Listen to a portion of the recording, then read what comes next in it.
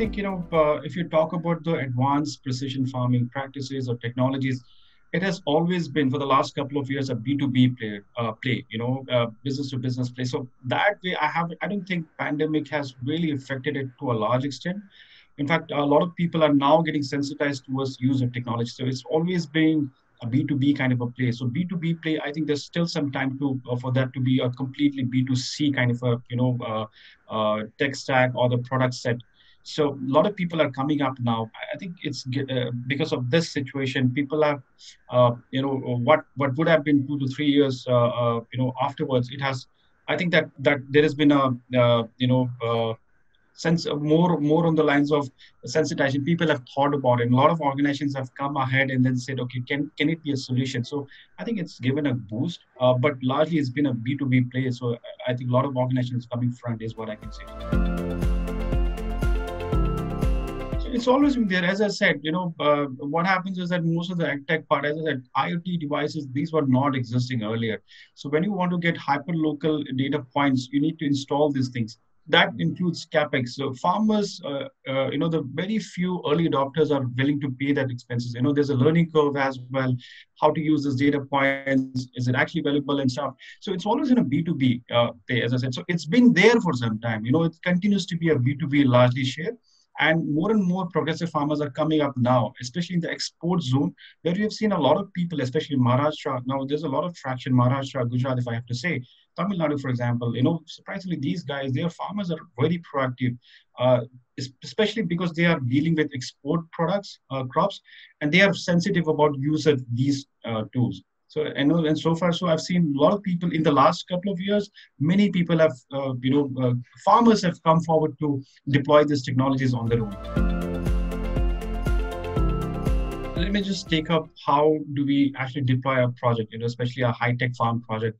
Uh, what happens is that the first season, the first cropping season happens to be, it, it we look at it as a survey uh, uh, or a uh, or a uh, or a cropping season where we would like to capture a lot of data points. So it becomes what we say is that, okay, we are deploying a tech, uh, do as it is, don't change any kind of practices, do as it is. We are going to install these devices on, on our own, and then we'll study that pattern, you know, what, what is happening, how the soil is being, because, you know, a lot of time you get a lot of surprises. Geography is different, soil conditions different, weather is different, and it's getting erratic by the day.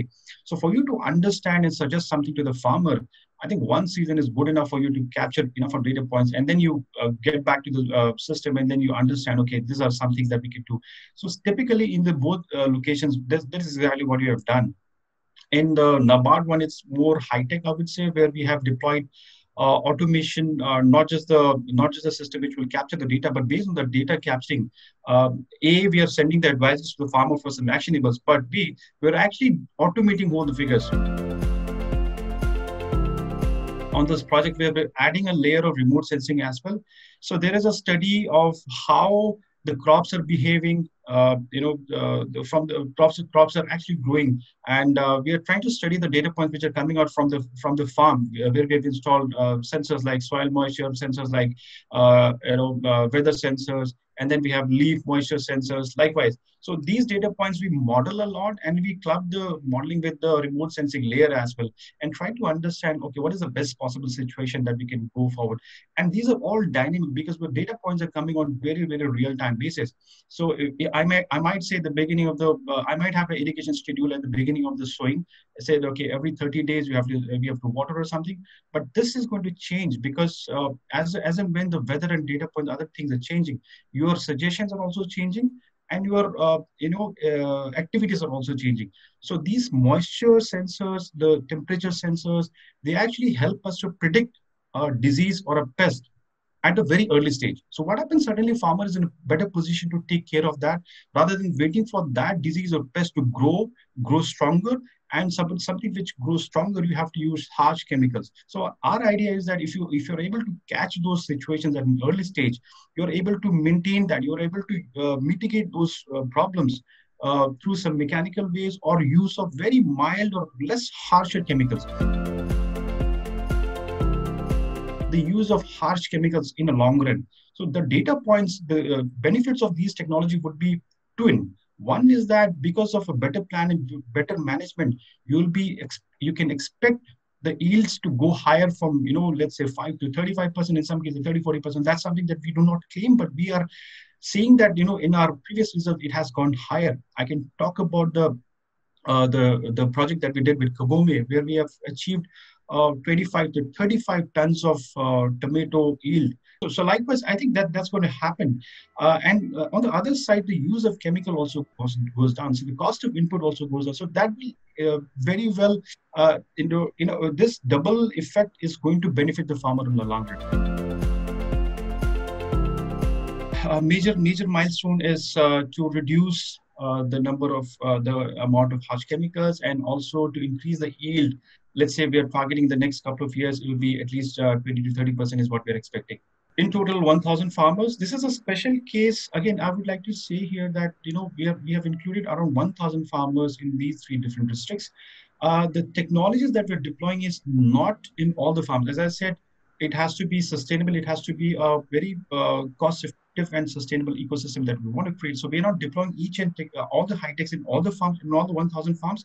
In fact, we have clustered these locations based on the survey. What we've done, okay, uh, uh the best sample representative of of 100 farms is this. So that is where we have uh, added a lot of intelligence in terms of the sensors and other things that I talked about.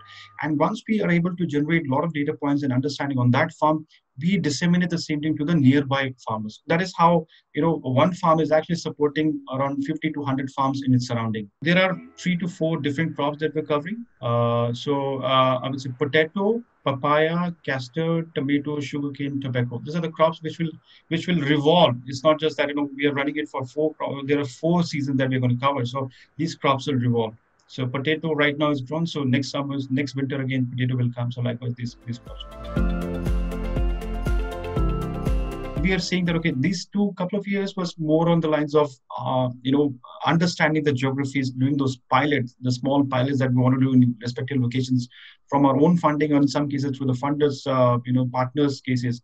Uh, we have managed and we have gained the confidence. We have seen that okay we can we can really do it I think in the next couple of years, it's a, it's a matter of scaling, and we do have plans to scale it up uh, uh, to most of the cases.